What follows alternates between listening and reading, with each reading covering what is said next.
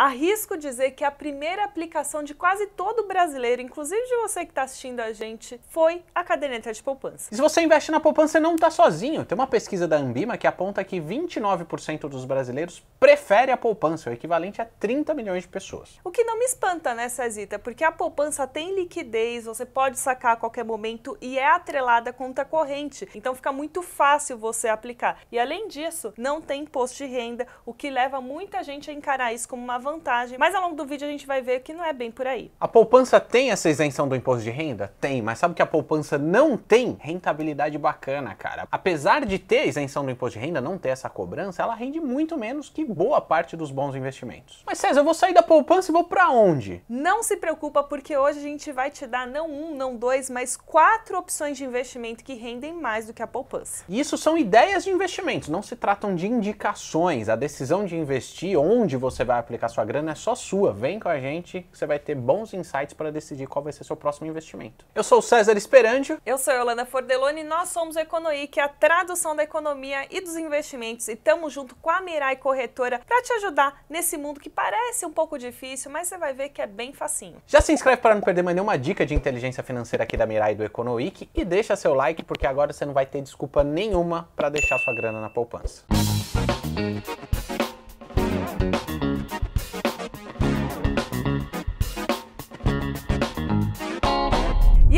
Investidor, tranquilo, por aqui está tudo ótimo, até porque não tenho mais dinheiro na poupança, Cezita. Sim, né? Você amor. ainda tem dinheiro na poupança? Não, não, não. Anos que eu não tenho dinheiro na poupança. Não significa que às vezes não cai a grana lá na minha conta, eu embaixo um mês para investir e ela não tá rendendo nada, mas na poupança eu não tenho mais. Foi o seu primeiro investimento? Na poupança? É. Então, acho que foi porque minha mãe colocava grana na poupança, mas quando eu apliquei por conta própria não foi, foi um CDB, na verdade, meu primeiro investimento. História clássica do brasileiro, né? Esse foi exatamente o meu caso, mas e você? Você tem dinheiro na poupança? Responde aqui embaixo sim, não Comenta aqui, a gente quer saber. Sem enrolação, vamos conhecer os investimentos que rendem mais do que a caderneta e te encorajar a sair da poupança. Mas antes, vamos entender quanto que de fato a poupança está rendendo? Desde 4 de maio de 2012, mudou a regra como se calcula esse rendimento. Agora, ele é atrelado à taxa básica de juros da economia, a Selic.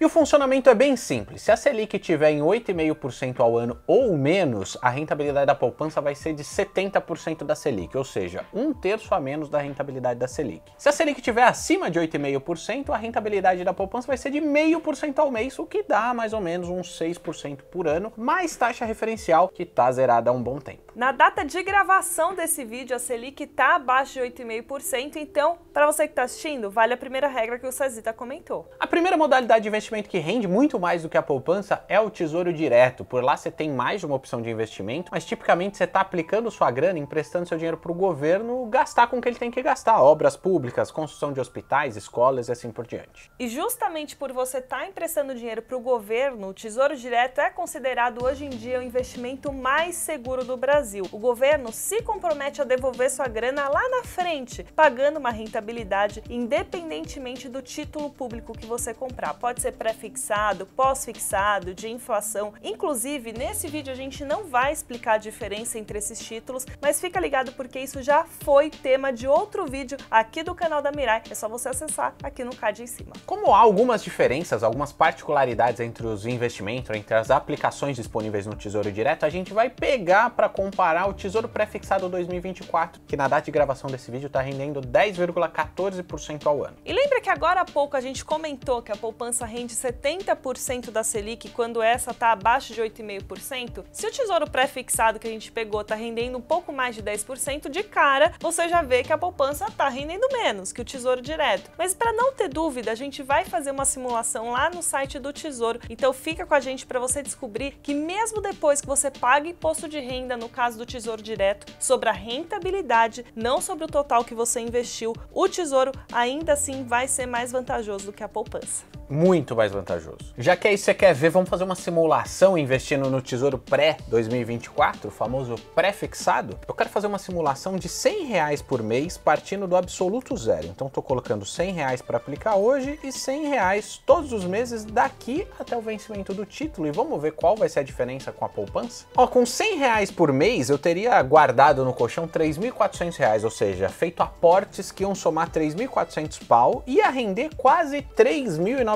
É uma rentabilidade já interessante aqui no Tesouro Pré-Fixado e descontando todos os impostos e taxas, ainda assim eu teria 3.800 reais. Na poupança eu teria 3.600, então é uma diferença que vai te ajudar com certeza. De uns 170 reais, mas lembrando que se você aplicasse mais todos os meses, não 100, mas 200, 300 reais, essa diferença seria ainda maior. Outro investimento que rende muito mais do que a poupança é o CDB. CDB é a sigla para Certificado de Depósito Bancário. A lógica é muito parecida com a do Tesouro, só que em vez de você emprestar sua grana pro governo, você está emprestando para um banco. E o resto é tudo igual. Ele vai devolver sua grana no período combinado, numa data combinada, com uma rentabilidade também combinada. Então, a lógica de você ganhar dinheiro com isso é a mesma. Mas será que o CDB tem liquidez igual poupança? Eu posso sacar a qualquer momento? E aí a resposta é depende. Tem CDB que sim, tem liquidez diária, mas tem CDB que tem liquidez só no vencimento, ou seja, você vai ter que esperar lá a data futura para ter o seu dinheiro de volta mais o rendimento. Então, presta atenção na hora de investir em qual CDB que você está aplicando. Geralmente, se você pode ficar mais tempo, esse CDB vai te pagar mais. E será que os CDBs são tão seguros quanto a poupança?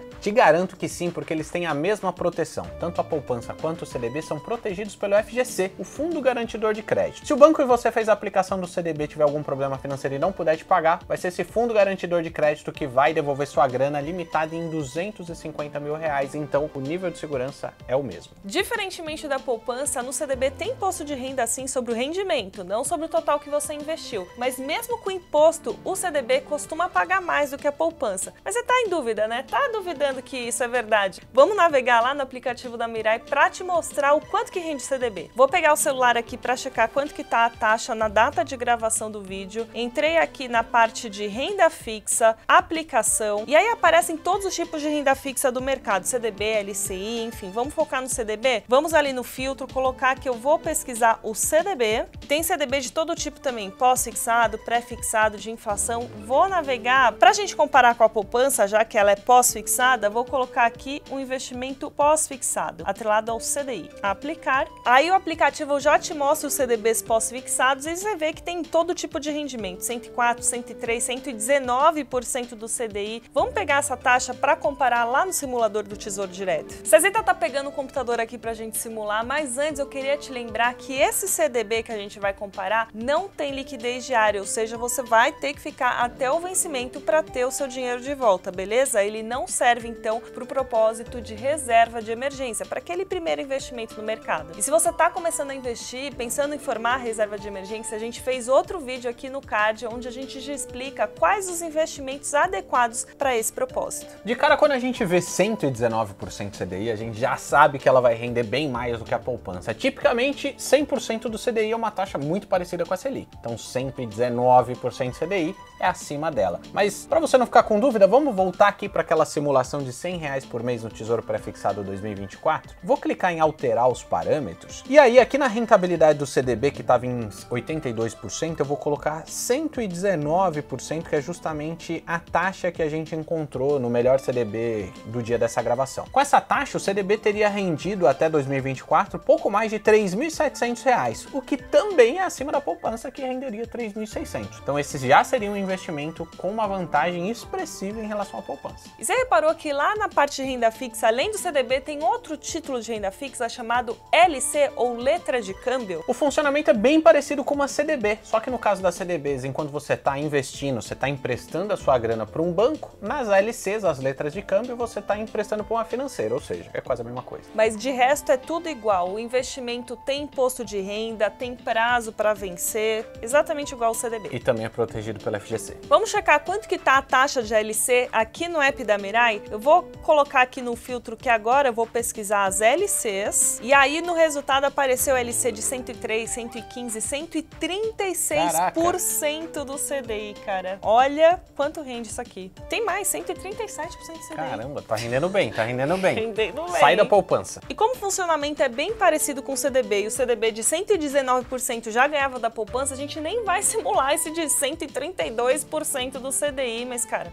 rende mais. Se você quiser fazer a simulação, é só você ir no site do Tesouro e seguir o passo a passo que a gente acabou de fazer, você vai fazer a conta igualzinho. O quarto investimento que ganha e costuma ganhar de lavada da poupança são as LCIs e as LCAs. As LCIs são as letras de créditos imobiliárias e as LCAs, as letras de crédito do agronegócio, e as duas têm uma vantagem que costuma encher os olhos: não pagam imposto de renda. O resto é bem parecido com o CDB. Você está emprestando seu dinheiro para o banco, só que no caso da LCI e da LCA, o banco tem um propósito específico. Na LCI, o banco vai pegar a sua grana e fornecer um crédito imobiliário, seja um financiamento ou alguém que está querendo reformar a casa. E no caso da LCA, o banco vai fazer algum tipo de crédito para o agronegócio, como comprar uma máquina agrícola, alguma... safra, coisa desse tipo céu é o limite. Vamos voltar aqui pro app da Mirai para saber quanto que as LCs e LCAs estão pagando? Fiz o filtro aqui para LCA. Aí você vê rentabilidade de 98, 99, 100, 101% do CDI nas LCs e LCAs. As rentabilidades variam de um dia para o outro, então fica ligado que às vezes você encontra uma LC e uma LCA rendendo muito mais. Mas vamos fazer uma simulação com essa melhor taxa que você encontrou hoje? Vamos voltar lá. Naquele mesmo investimento comparando com a poupança, eu vou alterar o parâmetro aqui de 74 para 101% de rentabilidade do CDI e o retorno já líquido de imposto de renda final, a LCI e a LCA, não tem incidência de imposto de renda, é de pouco mais de R$ 3.700. Ganhou em quase 100 pau da poupança que teria rendido 3.600. Ou seja, acabamos de te provar que esses investimentos rendem mais que a poupança e dependendo do dia que você está buscando essas aplicações, podem render muito mais que a poupança. A gente já não te falou lá no começo que não ia ter mais desculpa para você continuar na poupança? Isso porque na simulação a gente usou um valor de 100 reais por mês. De novo, se você aplicar 200, 300, 500 reais por mês, ter a disciplina ali de aplicar todo mês, essa diferença seria ainda maior. E com essa alta de juros que no dia aqui da gravação, pelo menos, ela tá subindo loucamente, onde é melhor investir? Em títulos pré-fixados ou pós-fixados? É justamente o que a gente falou nesse vídeo aqui e você não vai querer perder. Já se inscreve aqui do lado para ficar por dentro de toda a novidade da Mirai e a gente se vê na próxima.